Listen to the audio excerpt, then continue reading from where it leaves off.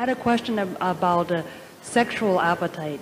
Uh, I think for for men, it's almost that compulsive, uh, the compulsive nature that we have adopted. And I'm wondering whether or not, if one becomes more spiritual, their sexual appetite also becomes not so much a compulsive appetite.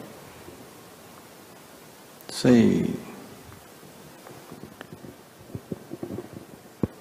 every aspect of your life, human being is capable of making it conscious.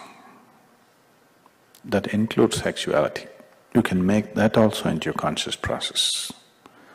So once it's conscious process, it is no more something which decides the course of your life. It is not something that is compulsively working within you. It is something that you decide. That's how human life should be, isn't it? Everything you decide.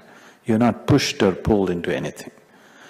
And because it's compulsive, how many varieties of trouble people have gotten into, isn't it? If it was a conscious process, they would know when, where, how, what, isn't it? Just see the kind of amount of abuse, sexual abuse that is happening, you're not even leaving infants. That's not normal, isn't it? That's not even human. That's not even animal, it's sub-animal, isn't it? Because it's such a compulsive force. And yes, it's most terrible for the child, but my sympathy is also for the man.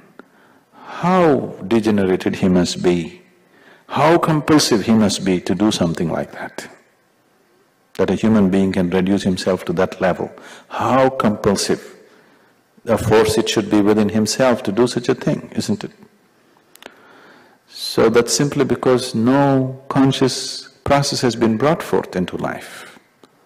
If only if people did something consciously, at least for ten minutes a day, you would see all these things would go down dramatically, dramatically. They're not starved of sex. It is not because sex is not available for them. It is because it's such a compulsive force that they have to do something like this, isn't it? And it's becoming a big thing, not just in one place, worldwide. It is becoming such a big thing.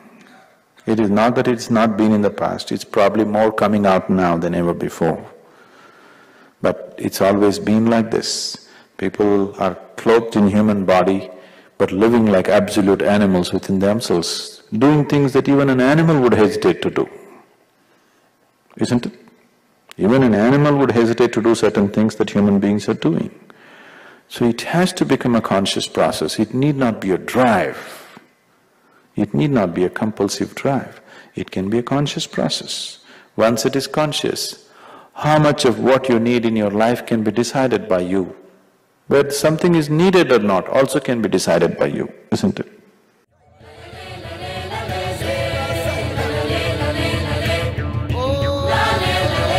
soil.